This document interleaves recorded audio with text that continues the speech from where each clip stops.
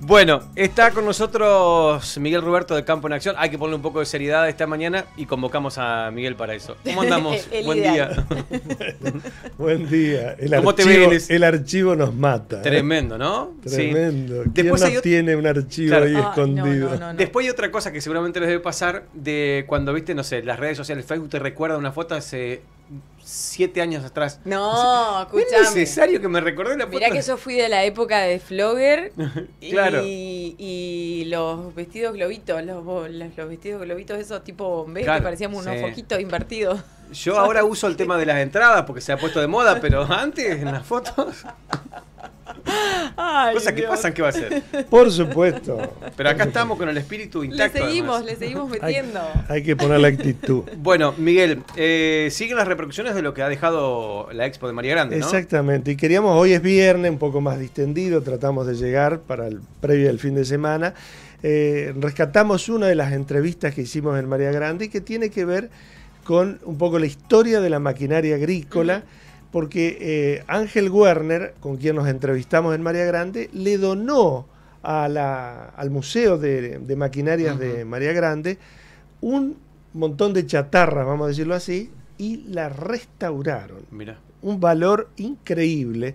Eh, bueno, charlamos con Ángel y esto nos contaba sobre esta pequeña historia de una de las máquinas que hoy integra eh, el Museo de la Maquinaria de María Grande. A ver. Una vida ¿no? ligada a lo que es la maquinaria, los implementos, el servicio. Eh, ¿Quiénes empezaron en tu familia? Bueno, mi papá empezó con reparar maquinaria agrícola allá por el 60 eh, en la ciudad de Paraná. Eh, en esa época era muy difícil la competencia del usado con el nuevo, el nuevo se vendía con crédito, el usado no.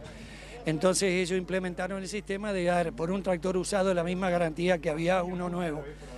Eh, eso le dio como un respaldo y una fama y yo nací en ese lugar, así que gateaba. Esa, esa historia hoy tiene mucho que ver con esto que donaste vos al museo. Contanos por qué lo hiciste y cómo llegó esta máquina a tu poder. Eh, nosotros en el año 1982 la compramos en Viale, alguien que la había comprado eh, como ya descarte, como para desarme, y me daba pena que se desarmara. La guardamos y hace dos años la donamos al Museo de María Grande. Y bueno, ellos hicieron el milagro de restaurarla, nosotros le entregamos casi chatarra y ellos la, la restauraron y hoy una cosechadora. Le dieron vida después de 50 años. Así que realmente de parte nuestra no hay mérito, sí el de ellos, ¿no? Bueno, y es un símbolo de lo que fue la industria nacional. Indudablemente. Eh, recién mostraban que bueno, hubo más de 50 fábricas de cosechadoras. Hoy creo que Basali es la única que ha sobrevivido. Y bueno, esperemos que se, se cobre un nuevo impulso y la y, pues, digamos la, toda la parte maquinaria pueda eh, reflotarse. ¿Qué sentiste cuando te subiste y, y marchó? Una emoción, una emoción muy grande. Perdón, una emoción muy grande. Imagínense, resucitó, resucitó la cosechadora. Así que, este, bueno, les pido disculpas por, la emoción, pero verdaderamente fue muy grande. Imagínense verla eh, muy deteriorada y hoy eh, en plena vida está perfectamente para cosechar. Si estaríamos en época de trilla de trigo, la cosechadora puede entrar y trillar el trigo perfectamente. No está camuflada, está restaurada, o sea, capacitada para trillar. Mérito de la gente de De Angeli, todo su amigo, toda la gente que trabaja junto al Museo de María Grande y a la gente que lo apoya, viviendo, viniendo, aplaudiendo, viendo, difundiendo. Así que bueno, muchísimas gracias a todos. Ay, Se emocionó. Qué lindo.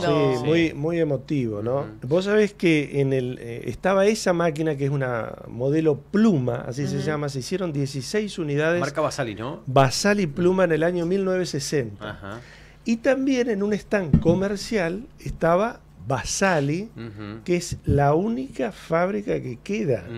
No sé si tenemos la imagen, les mandé una imagen a la producción, porque había un banner que trajo un historiador de la maquinaria agrícola que es cordobés, José María Barrale, en donde está la, la imagen de eh, la región en la Argentina y las 50 fábricas de Ahí cosechadoras que hubo en el país. Ajá. Qué bárbaro. Hoy queda Basali, que estuvimos charlando, porque el nuevo dueño de Basali es entrerriano. Ahí está el mapa, mirá. Ahí está, ¿viste? Bueno, realmente eh, yo digo, ¿cómo se deterioró la industria nacional? Claro. Eh, en el año 49, primer gobierno de Perón, eh, que hubo un desarrollo industrial muy potente en el Sí. país, Basali fue beneficiario Claro. de eso y crea la gran fábrica, una fábrica modelo en Firmat. Ujú. Bueno, después de 59, 70 y pico de años, hoy es la única que queda, Que queda en- nacional, claro, en de el capitales mercado. nacionales, hoy de capitales Y, entre han- reales. y han avanzado Claro. mucho los extranjeros también, ¿no? Las bueno, hoy se, como en todos los rubros de la economía se ha concentrado todo y bueno, este, está la nota por allí que hicimos con Eduardo Marzó, que es el actual titular de, de Basali.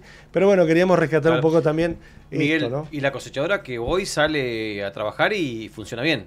Esta cosechadora está, está funcionando, es más, eh, capaz que en una de esas, si se anima Nincho de Ángel la podemos probar en algún trigo Ahí está. por ahí, así que Yo vamos a estar. Voy, Bueno, voy, la- voy, voy, la- voy, Los sé, invitamos. Me encantó, me encantó. me encantó. Hermosa Qué historia. buena, me encantó, la verdad que sí. Eh, y mucho trabajo también lo destacaban ahí, ¿no? Desde el museo, desde la gente que trabaja en la restauración. Y por ahí es soberbio decirlo, pero es el único en la Argentina. Claro. Este museo que tiene un nivel de maquinaria restaurada que todas funcionan. Hay Mm. muchos museos, lo dijimos acá, Claro. pero realmente es un orgullo para la provincia. Lo que Muy pasa es que uno tiene asociado los museos a las exhibiciones de algo que fue Claro. importante Sí. en algún momento. Sí, totalmente. Y acá lo que De- caracteriza. De, distintos, de distintos tipos, ¿no? Eh, el Museo Sin del OVNI en Victoria, Claro. el Museo del Arroz en San Salvador, algo que qué sé yo, por marcó la historia en algún determinado Claro. momento. Pero acá es algo que marcó la historia y que va a continuar marcando el día de hoy porque se caracteriza precisamente por esto, Claro. por hacer que todo funcione. Es increíble. Bueno, y vos sabés que eh, lo último, eh, hace 10 años atrás, eh, la gente del museo presentó el proyecto para construir el edificio, tienen donado el terreno en, en María Grande, Ajá. todo preparado. Falta, por supuesto, el aporte, Claro. en este caso, de, de los gobiernos nacional y provincial, que había un compromiso para construir eso y guardar y preservar todo esto, que es un patrimonio de la provincia. ¿El museo es abierto al público en general? El museo funciona durante la exposición, La exposición. después guardan las Ajá. máquinas porque no hay lugar donde guardarlas. lugar físico, Entonces claro. se las guarda, se las, Se las conserva. En, el, en María Grande, en el predio de la rural, hay un, un galpón que hicieron especialmente para guardarlas, pero no se exhiben porque Claro. no, no hay No comodidad fácil para hacerlo. Sí, sí, sí, son cual. muchas, son Ujú. muchas. Bueno, Eh, Miguel, excelente, me encantó. Bueno. Buen fin de semana. bueno, el mío no es fin de semana largo. ¿No? No, el que se tomó fin de semana largo es. el lunes. Sí. Yo vuelvo el lunes. El otro, el que te dije. Y eh, que te Jueves. y que te dije. Ah, tenemos dos. Así que el lunes estamos acá. Che, Chicos, yo eh, me voy a trabajar. Sépanlo. No es que falte porque quiero. a mí me gustan los que les gusta. No hay más. No, no queda nada. Gracias, Miguel. Buen fin de semana. Miguel Roberto de Campo en Acción pasó con esta linda historia aquí en la mañana del despertador.